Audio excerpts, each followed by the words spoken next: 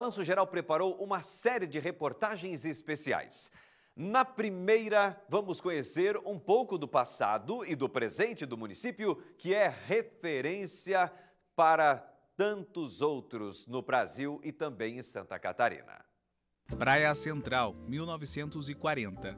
Avenida Atlântica, década de 1970. História captada em segundos e que percorre anos.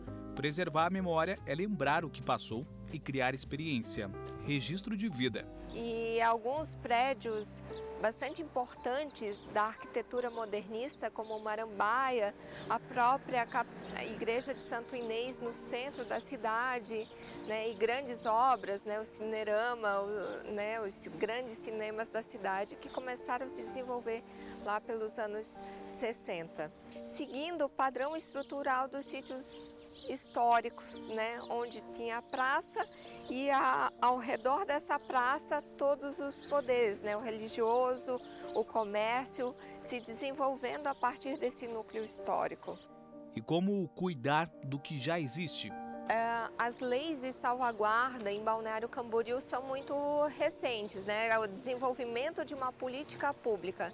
Nós temos, né, desde 2015, o nosso Plano Municipal de Cultura, que dentro desse plano tem ações de salvaguarda, de preservação mem da memória histórica dessa cidade.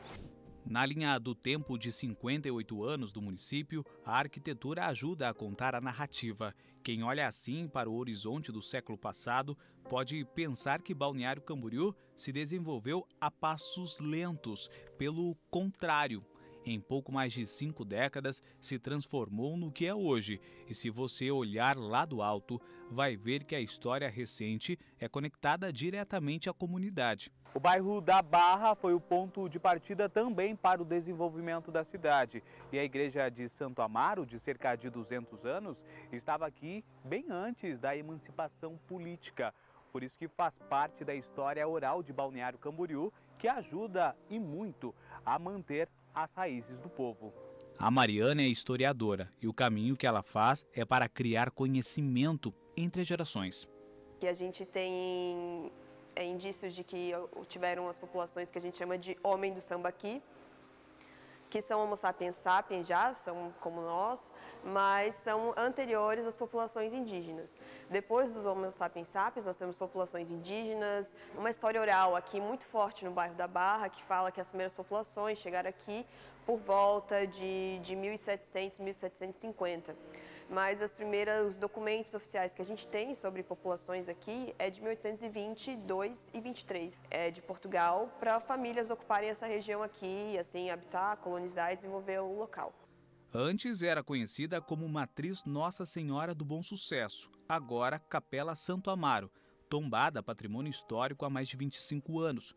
As características foram preservadas. Do lado de fora, no material utilizado, tem até molusco em meio à construção. Por dentro, cada detalhe chama atenção.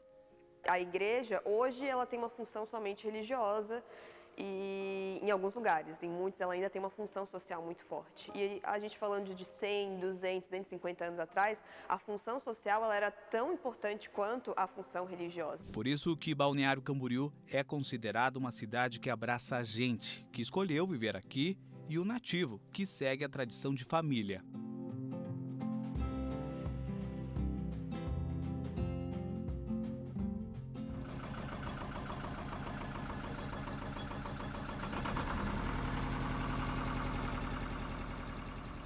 Eu fui influenciado pelo, pelo meu, meu, meu avô, meu pai, a minha família, né? Pescar era totalmente diferente, era outro tipo de material. A embarcação era remo, não tinha motor. Pedro é pescador há mais de seis décadas. O rio Camboriú é o quintal da casa dele. A pesca na minha vida simboliza a minha família, eu, simboliza tudo.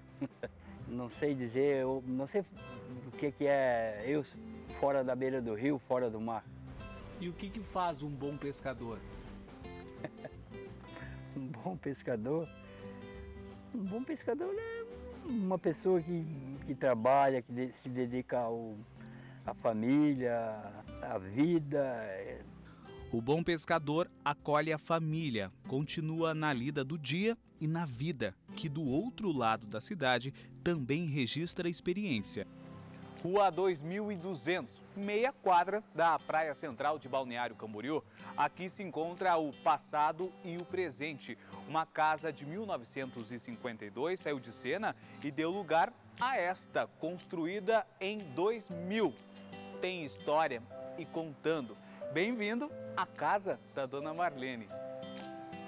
Muitos objetos dos avós ainda são guardados. Esta estrutura de madeira fazia parte da casa antiga mas quem se destaca é a moradora desse endereço. Sei a minha infância aqui, nos meses de férias, quando tinha férias em dezembro, janeiro e fevereiro. Né? Então, todos os anos eu passei as férias aqui. Então, eu sou do tempo que tinha roseta na praia.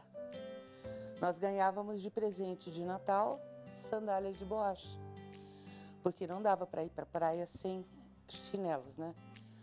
E não tinha rua, coisas assim na lembrança de cheiros, de quando eu abro este armário aqui, que é o guarda-louça, ele tem o cheiro da casa da minha avó, por causa da madeira, não é o cheiro dela.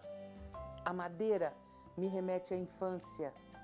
Memória criada em mente e em estrutura física, pelo menos para a família Kaltmeier.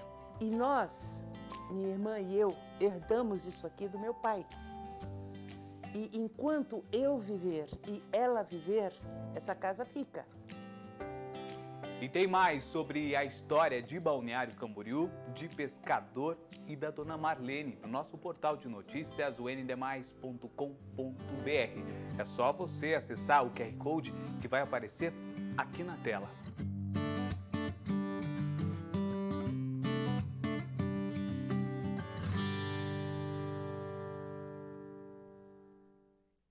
Que legal, que privilégio, né? A Marlene aqui no Balanço Geral, trazendo aí ah, um pouco da história de Balneário Camboriú. Tive o privilégio esses dias de comer uma pizza com a Marlene, você sabia? Ei, Leandro Lins, é, a gente foi numa pizzaria lá, no aniversário da Bruna, da Amor Pradal. A Marlene estava lá, a gente já bateu um papo e foi muito bacana. Amanhã tem a segunda reportagem especial para você. E você